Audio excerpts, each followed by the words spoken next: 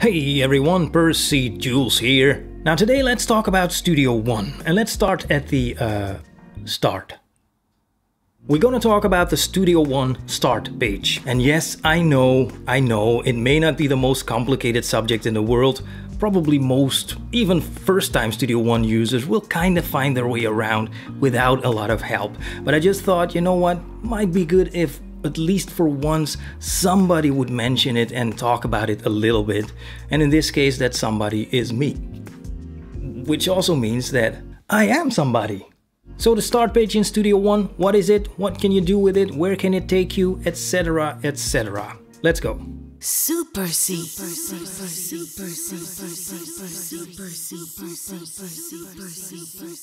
Now, whenever you start up Studio One, after it's done its thing, so first it will check for plugins, it will check external devices, etc. etc.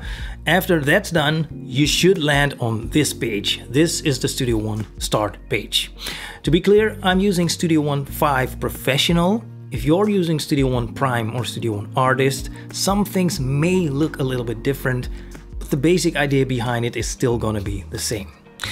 Now, first things first, let's first take a look at this section right here. Here we can see an amazing picture. Does it remind you of anyone? Now to be clear, Studio One does not come with this picture pre-installed. That's uh, me. Uh, anyway, the start page allows you to upload a picture of yourself or of, a, of your band or something like that, just to make it a little bit more personal. Okay, now let's move up to the top bar. To the left, you can see the SoundCloud client. Uh, this allows you to connect to, to SoundCloud directly. Uh, you can even upload a song directly to SoundCloud. Uh, I've personally never used it, but you know, it's good to know that it's there. Now, next to that, we have a macro organizer. Um, to be completely honest, I'm not really sure why it's there. I've never used it before. Well, I've used a macro organizer before, but not from here. But again, it's you know, it's good to know that it's it's uh, it's available from here. Now, moving on to the right, um, here you can see Start, Song, Project, and Show. These are all the pages you can visit in Studio One. So we are now on the start page. We could also go to the song page. I have a song open, as you can see. Um, notice that also on the song page, you can you can again see start song project page, uh, show. You can see all the pages you can visit. Uh, from here, we can go to the project page, or we can go to the start page, or to the show page. You know, you can just move back and forth uh, with these knobs. Okay, now let's move down a little bit to this bar. Now from this bar, we can create a new song like this, or we can create a new project or a new show, or we can open any existing files in Studio One. All right? Now here we have a list of all recent files, which obviously is very useful. Uh, one nice thing about it is that if you right click the logo, you can see all the past versions of that song you know and you can return to that uh, to any of the versions uh, right from here great stuff. Now, next to that, we have songs. Now, this is the one thing that I think is uh, is still great. It's still great to have access to your songs right from here, but there is some room for improvement. And to show you what I mean, let's first open uh, the Studio One file folder.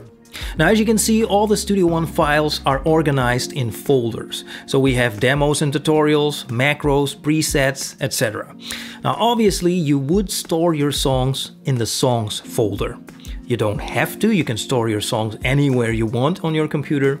I think I would recommend storing them in the songs folder.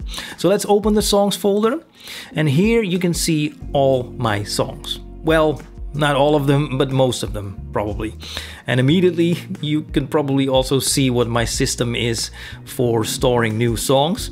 So 0001 is one of my songs. It's actually a song folder. It contains all the files necessary for that song. Um, 0002 is another one. So these are all song folders. Now, so far so good. So these songs will show up in the uh, songs list. All right.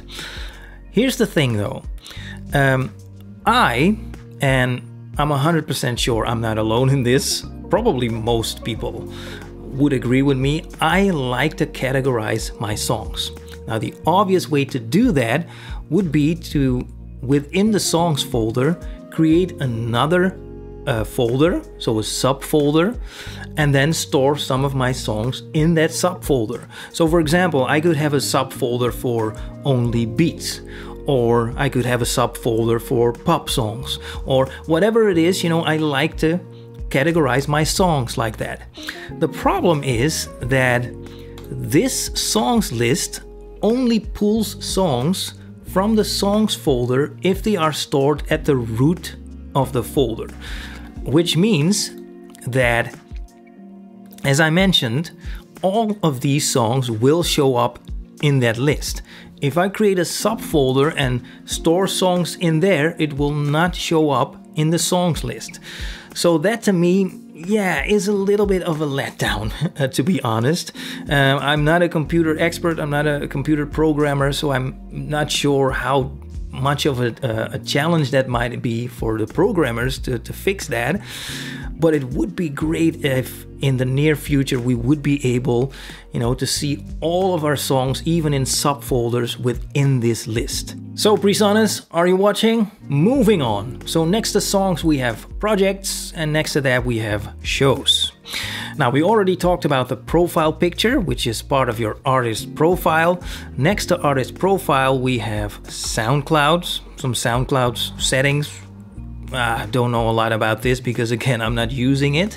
Uh, below that, though, we have kind of a, a shortcut to your audio interface settings. So if we click this, we'll be taken to where we can change those settings so I can choose another audio interface or I can open the control panel, etc.